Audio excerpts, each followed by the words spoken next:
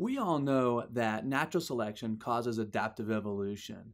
However, there are ways that populations can evolve that are not based on natural selection, and in fact, they can be quite random, like this tornado in the background. The first one is called genetic drift. So they basically genetic drift is a change in allele frequency due to chance. And this could be through bottlenecks, it could be through founder effects, or any way that you go from a large population to a small population. And the idea of the founder effect is that a few individuals from a larger population, they start a new population with a different allele frequency than the original population.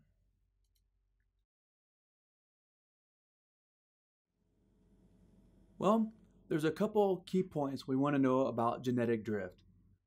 And the first one is it's random. It's random with respect to fitness.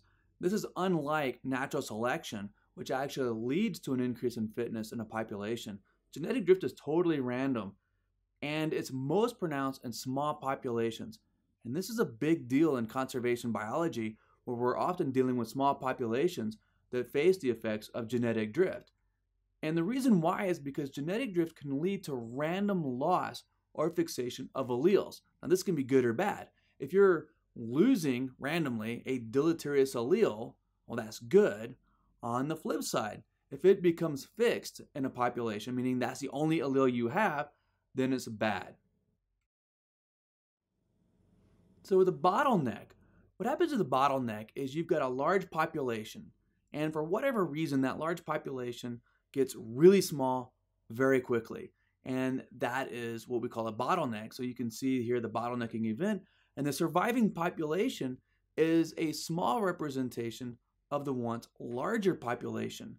And as a result of randomly sampling part of the larger population, you have a loss of alleles, and that can lead to genetic drift.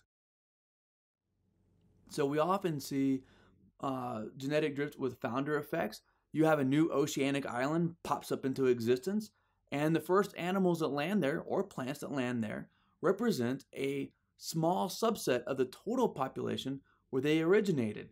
And as a result, when you get to the island, have much um, less genetic diversity. So here's a founder effect. You've got them migrating out from a larger population. And like I said, the, the founders are going to have a subset of the total diversity that you would find uh, from your main population. And this is just showing some beetles here. You can imagine you get these beetles that are both yellow and red. And somehow your island only gets the red ones. That represents a subset of the original with a total uh, diversity you found on the mainland. So this founder effect, these islands start off with less genetic diversity. So genetic drift is, like I said, that's a change in allele frequency and this is due to chance. Unlike natural selection, which is selecting for these alleles, this is completely random. Gene flow represents another way that you can change allele frequencies in a population. You can imagine you've got two different populations, and uh, we've got both of these populations are homozygous, and uh, one is dominant HH for whatever that blue color is, and the other one is recessive HH, little h, little h for the red color. What happens is when uh, a bird migrates from one population to another, they're going to bring in a new set of alleles into that population. And because you're bringing in new alleles, guess what? You're changing the allele frequency of that population. So gene flow is uh, important for adding in genetic diversity to a population. Now, gene flow gets kind of complicated, but migration is very important for, like I said, bringing in new com- new alleles, which would create new combination of alleles in a population. So gene flow, it definitely can alter the allele frequency of a population by bringing in a new set of alleles. However, gene flow is really complicated, especially when we start thinking about metapopulations. Metapopulations are populations of populations. So you can imagine that you've got these populations and they're they're being kept from diverging from each other through gene flow. Okay, so that means rather than having these populations completely separate and they start accumulating changes over time, you know, gene flow, migration between the populations would maintain them as a single species over time, but allow for local adaptations. Another thing about metapopulations is you might set up source sink dynamics. Some habitats and, or some populations might be in great habitat and they produce a lot of offspring. And those offspring, they leave those and go to other smaller habitats that might be a little less optimal. And those would, of course, form the sinks. When it comes to evolution, mutations are vitally important. You see, genetic variation is actually reduced by both natural selection and genetic drift, but it's mutations that ultimately create new variation in a population.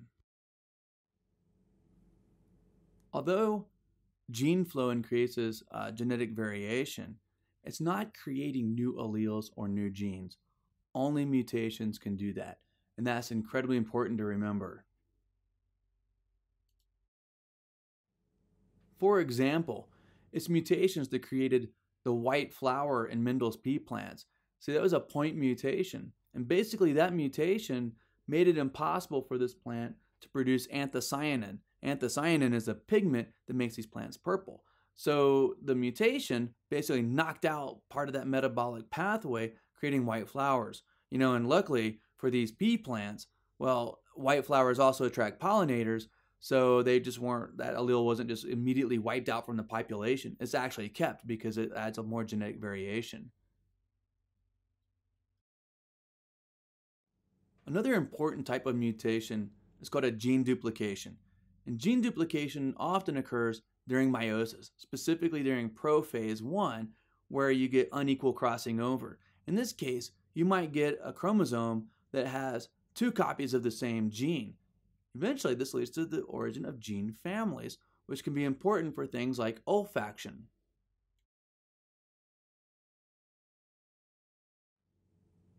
For example, gene families are important in the evolution of mammals. I mean, if you go back, mammals are 200 million years old, but dinosaurs became dominant in the Mesozoic.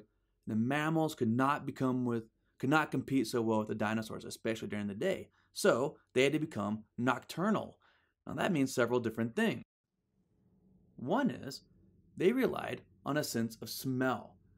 So, to smell, you have to have receptors in your brain to detect odors.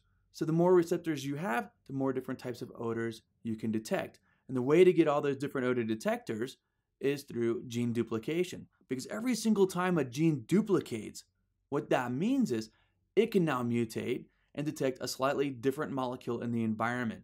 So if you've ever noticed your dog, they sniff everything, right? And because your dog is out there sniffing everything, they have over a thousand genes to detect odors in their environment. It's amazing. You and I, we have about half of those that are still active, so we're pretty good at detecting odors. The other half, well, they've been lost over evolutionary time and are now called pseudogenes. And if you look at whales and dolphins, they can't detect any odors in their environment, but they still have those same thousand or so pseudogenes that have been knocked out over time. When they lost their sense of smell, it didn't really affect their evolution. You know, through the first part of this century, a bunch of really bright guys came up with a modern synthesis, you know, and that started thinking about evolution in terms of populations and combining what we know about uh, Gregor Mendel's genetics with evolution. That's where we get the change in allele frequencies over time. And we know that new alleles and new genes are caused by mutations. But part of our extension of that modern synthesis has to account for something called lateral gene transfer. This is amazing. You know, evolution by Darwin's idea is basically vertical gene transfer. You acquire your genes from your parents.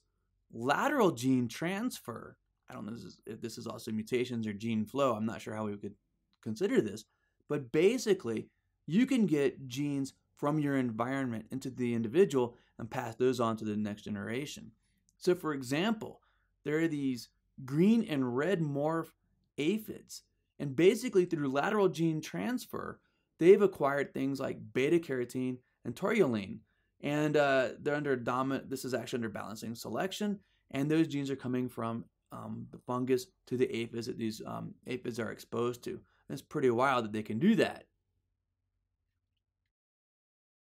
Another one is a lateral gene transfer between algae and uh, this sea slug called Elysia chlorotica. This is a sea slug, and what it does is it eats algae. And then instead of just totally digesting the algae, it can actually take the chloroplast in that algae and incorporate it into its tissues. Now, over evolutionary time, it's acquired some of the genes required to maintain those chloroplasts inside of its tissues. So, what that really means is that you've got a photosynthetic animal. Now, photosynthesis is not going to produce enough energy for this animal to be totally active, but it can definitely help it during lean times. Here's one of my favorite examples. You know, you and I, we're, we're Therians. Specifically, we're Eutherians, commonly known as placental mammals. And uh, uh, what's interesting about it is we give live birth. And lots of things give live birth. Sharks and some snakes do, and other fish give live birth as well. However, what makes our live birth so unique is we have a placenta that connects the uterus of the mom or the mom to the growing baby through an umbilical cord. Okay, when they completed the entire human genome, they realized that one of the important proteins called syncytin is used to connect the placenta to the virus came from a retrovirus. Think about that. A protein used to connect the placenta to the uterus came from a retrovirus. What that means is a viral infection that inserted its DNA into the DNA of our mammalian ancestors millions of years ago helped with the evolution of mammals in terms of giving live birth and using a placenta. Now, it turns out this story has become more complicated because we've learned over time that similar viral infections have occurred at least six times in different mammalian lineages, affecting our evolution. So, like I said, this is like a, an extension to the modern synthesis of evolution, is like understanding how we'll fit in this lateral gene transfer. And I mean, to put this also into perspective, you're like, you know, between 5 and 8% viral genome. I mean, 8 to, 8 to 5% of your DNA is of viral origin. Now, the question is, what is it doing in there?